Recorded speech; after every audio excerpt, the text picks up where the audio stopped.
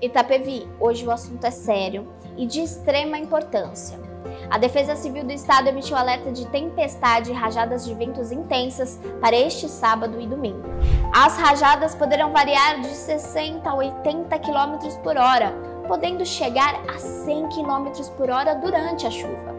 Itapevi terá 25 milímetros de chuvas, segundo o Climatempo. Recomenda-se precaução, evitar áreas com muitas árvores e buscar abrigo se necessário, longe de postes e fiações elétricas.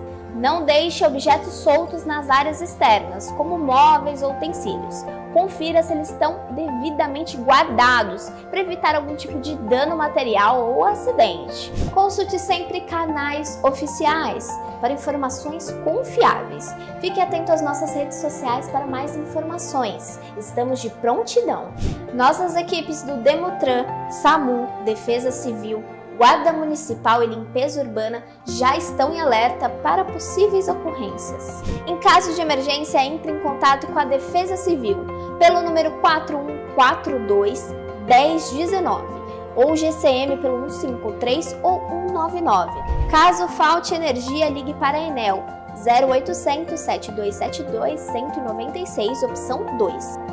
A Prefeitura segue trabalhando para manter você em segurança.